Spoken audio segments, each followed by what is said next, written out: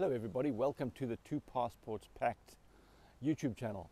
So what I've done is I've transferred all my old videos from Luxury Travel Camel over to the Two Passports Packed channel. So stick around, watch the videos on this new channel. Thanks everybody, bye.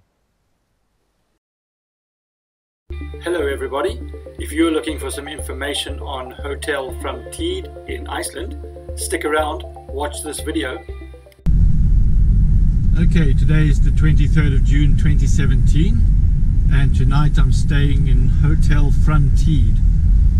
I hope that's the correct pronunciation. So I'm just coming up to the hotel now. Apparently the hotel overlooks a lovely bay. There seems to be a lovely quiet fishing village as is described on the website which I checked before I came. There's the hotel, Hotel Framtid.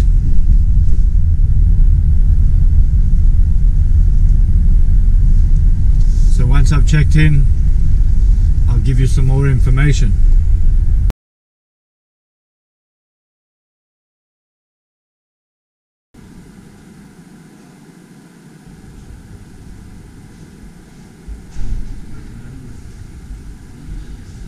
Okay, so finally I've checked into the hotel. It's almost got a log cabin feel to it. It's really, really nice. Feels really stable. One thing to note, the rooms on the left hand side are the ones that are closer to the harbour. Those are the odd numbered rooms. The ones on the right hand side, those are the even numbered rooms and those are closer to the mountain.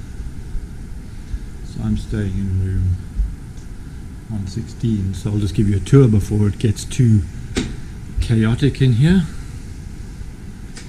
which it does have a tendency to do unfortunately given all the stuff that I normally travel with. Okay so bathroom first. Shower fairly standard I suppose. Funny layout of the toilet I've noticed that. The heater is very close which is uh, quite peculiar. Anyway, so then I suppose it's an average size room, not that bad. So I've got a room with two single beds for some reason. I don't know when last I slept in a single bed. Anyway, that's alright. It's only for one night. And what else? TV, cupboard, storage space. So yeah, pretty much a suitable room. It looks good, very solid and stable, should be warm enough. I'll give you some more information on the other parts of the hotel very soon. As I mentioned in the video, what you need to do is request a room with an odd number. Those rooms overlook the harbour whereas the rooms with an even number overlook the little hill that's in the back of the hotel. So obviously the rooms overlooking the harbour have a much better view. What you should do as well at the hotel is have dinner at their restaurant. The food is very good and the location is tremendous with a view right over the harbour. Okay, this is a continuation of my review of the Hotel Framtid where I stayed last night. Today is now the 24th of June 2017 and as you can see when I zoom out this is the view that you get from the hotel into a lovely harbour area lots of birds great photo opportunities. So if you're thinking of staying in this part of Iceland then consider Hotel Framtid as one of your options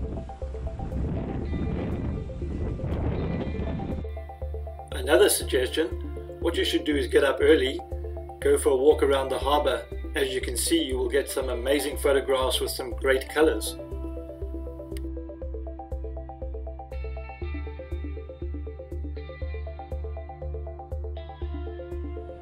Okay, my final thoughts on Hotel Framtid where I stayed in Iceland.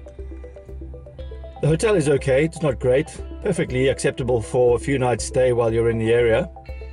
There's a few things that they could do better. There's plastic coverings on the tables in the dining room area and in the breakfast area.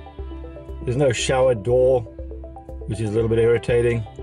And also the space between the rooms, the sort of the walls are quite thin, so you can hear the people in the other room. But I suppose that's not that bad because it's a nice location, it's reasonably quiet. I didn't find it to be a major problem. So, yeah, anyway, if you're in the area, think about Hotel Framtid. It's a lovely spot right on the harbour. Go out early in the morning, take some nice photographs, and go from there.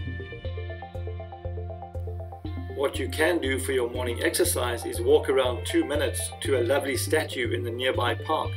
Otherwise, walk behind the hotel and see this wonderful blue house.